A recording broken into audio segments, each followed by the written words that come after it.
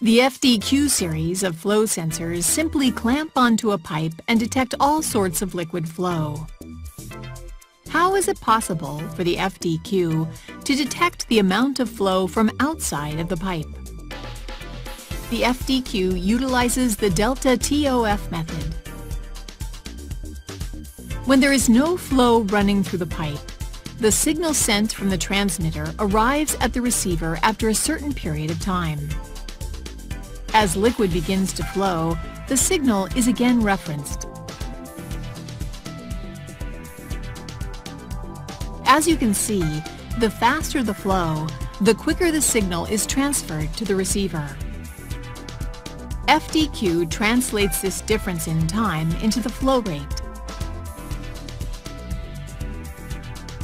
If we were to simply send the signal in a single direction, external factors such as temperature variations, could cause inconsistent flow readings, even though the flow rate has not changed.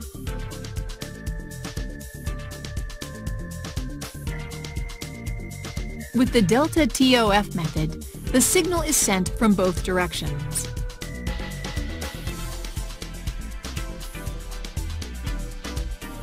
When the liquid is not flowing in the pipe, the time it takes for a pulse to travel from A to B is equivalent to the time it takes to travel in the opposite direction, from B to A.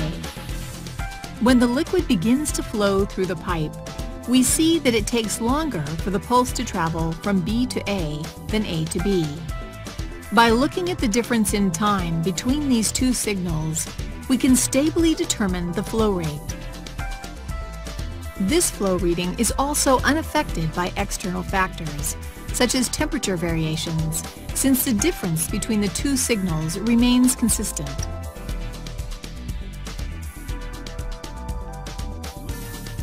function that the FDQ utilizes for stable detection is the DSS function.